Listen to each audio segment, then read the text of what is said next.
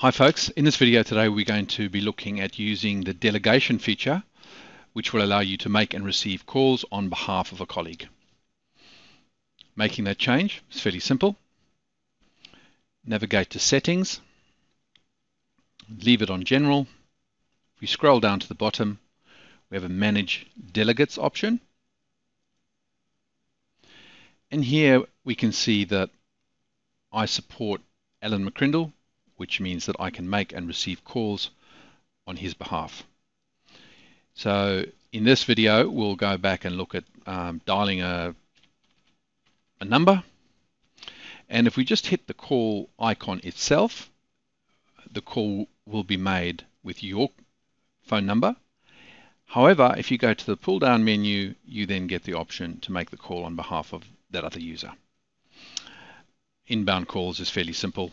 You just forward your calls through to uh, your delegate and they receive calls on your behalf.